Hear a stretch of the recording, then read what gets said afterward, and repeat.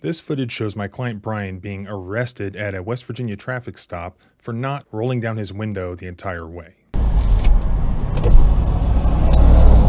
Hello, go ahead and roll your window down for me. It's, it's all right. Go ahead and roll your window down for What do me. you need it down for? Uh, because I said roll the window down or you Why go are to jail. why are you being like that? Roll the window down now. Sorry, man. I was arresting a guy for being a guy sucker.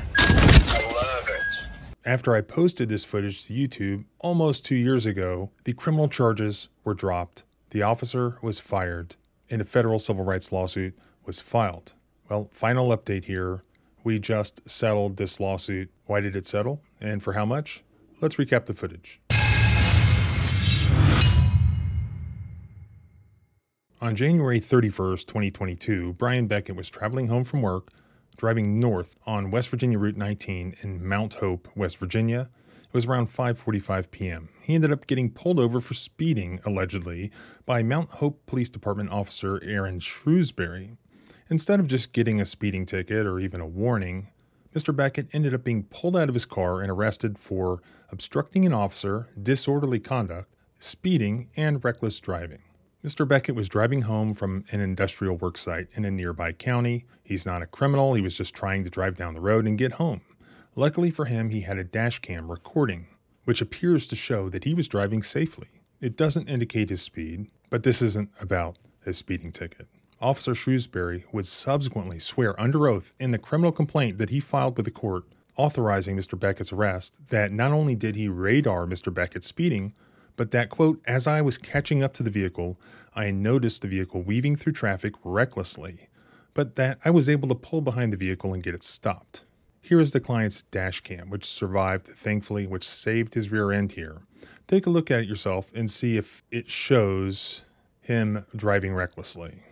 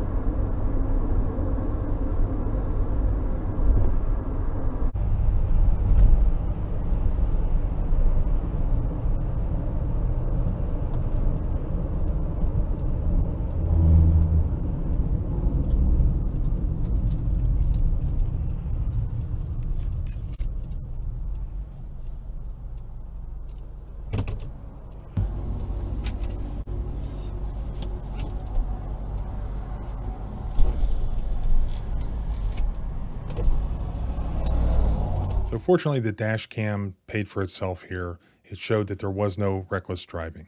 But the crazy thing that happened here was Officer Shrewsbury just immediately arrested Mr. Beckett for obstruction for not rolling his window down all the way, and he never bothered to ask Mr. Beckett for his license, registration, proof of insurance, or even his name. He just demanded that the window be rolled down all the way, not even providing a reason, just because, just because he demanded it.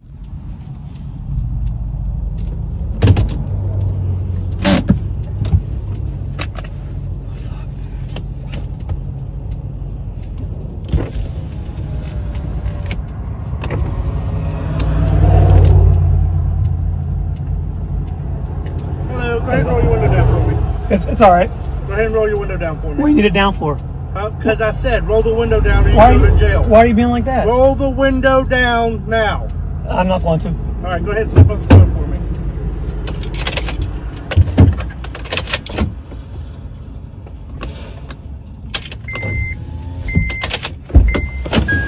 Look back here.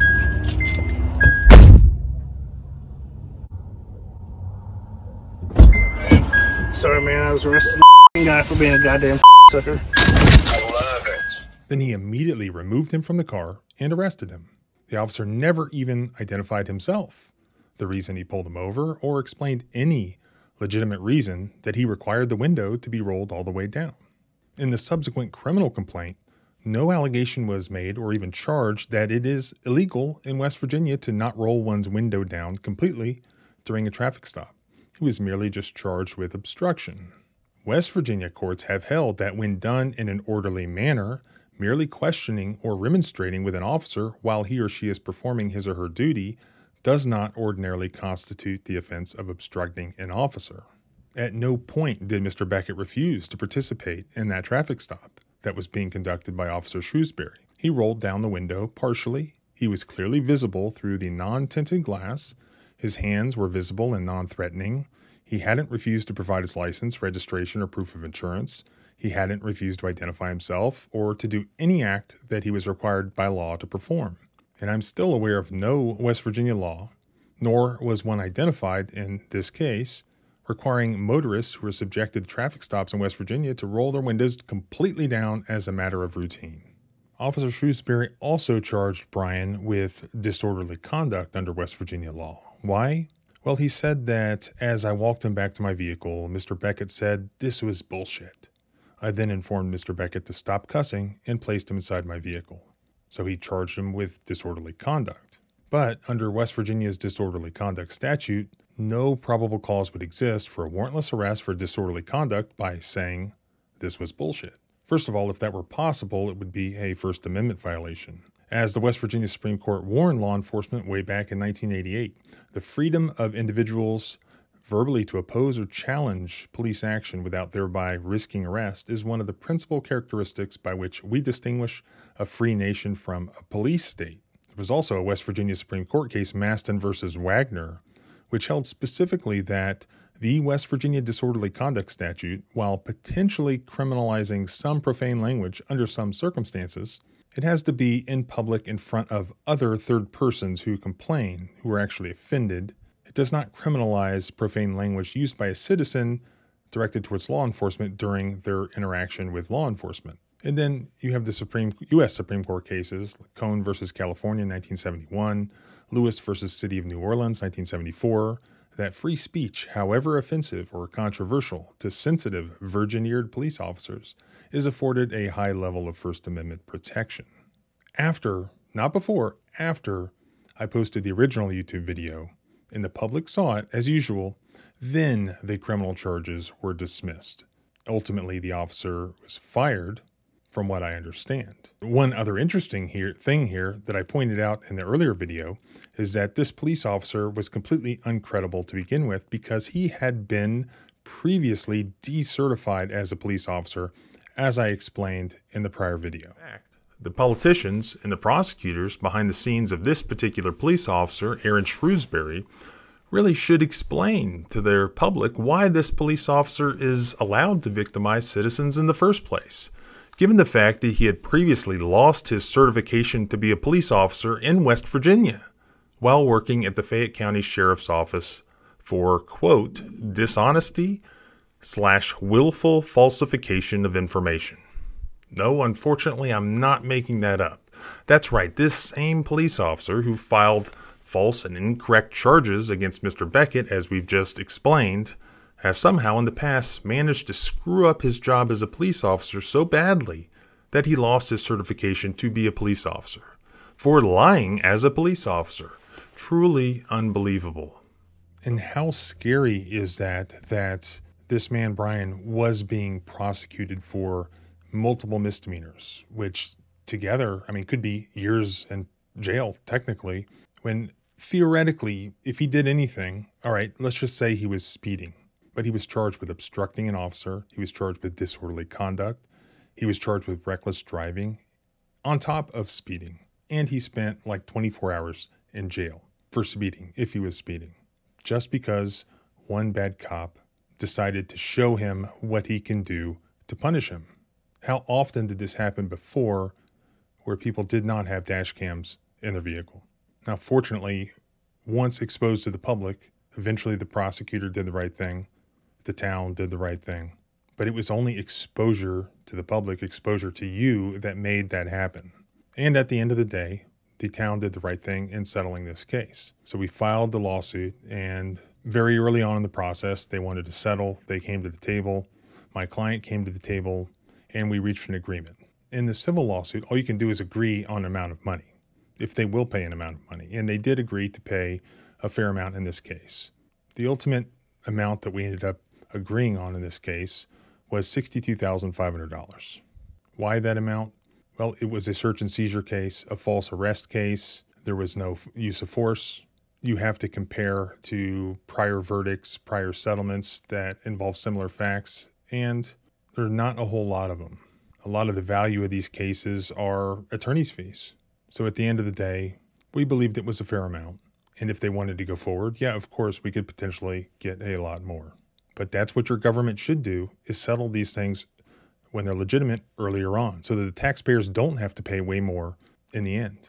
So that's the final update in this case. And I know some people want to hear like it was, you know, $10 trillion settlement in these cases, but that's just not the reality.